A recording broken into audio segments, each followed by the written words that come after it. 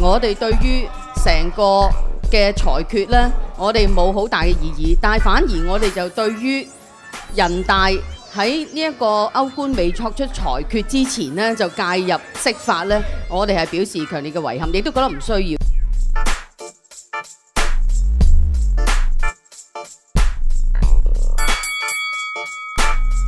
李柱銘曾經都即係講過咧，即係之前有啲判決出咗嚟之後咧，人大嘅釋法咧就反而好似真係即係推翻咗結果或者掛咗一巴。咁所以今次其實人大咧常委，我相信佢係正正就考慮咗呢一點咧，就喺個判決之前咧就做咗個釋法，等嗰條法例清晰咗之後咧，個法官咧去去判決。今次嘅釋法咧係去釐清一零四呢一條嘅即係法例啦，佢並非淨係針對呢次嘅梁游事件嘅，即係稍後有啲嘅即係法庭嘅判決，包括有人去即係 JR 劉小麗啊，甚至乎更多更多呢一個嘅釋法咧，其實亦都係繼續適用嘅。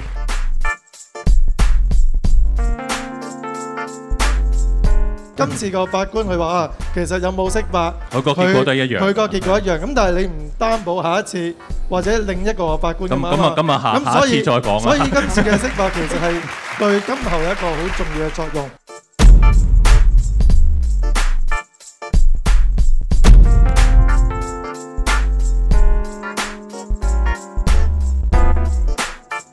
釐清楚咧，就係究竟我哋喺香港而家嘅嗰個議政論政啊、參政啊，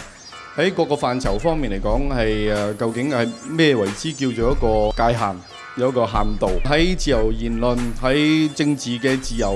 嘅框架下邊呢，我哋都要知道就係不能夠越咗我哋基本法裏邊所指定要擁護呢個基本法，同埋係效忠呢、個誒、特區。咁所以呢，就誒不能夠搞港獨。咁如果你要將香港誒呢、個獨立於中國嘅領土以外啊，呢樣嘢就萬萬不能。呢一個係一條底線嘅啫。